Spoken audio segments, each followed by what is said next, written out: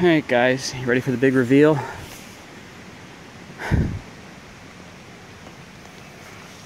Haven't taken out of the hole yet.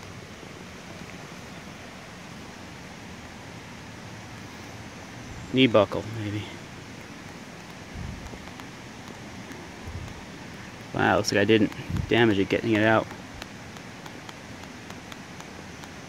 Wow. Thank goodness.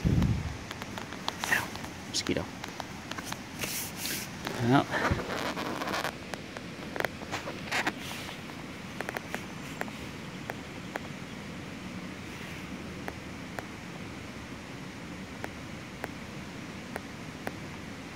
Now we know.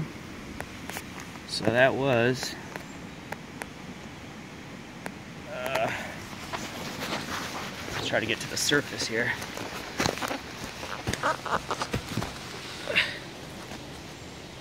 So that's how deep it was.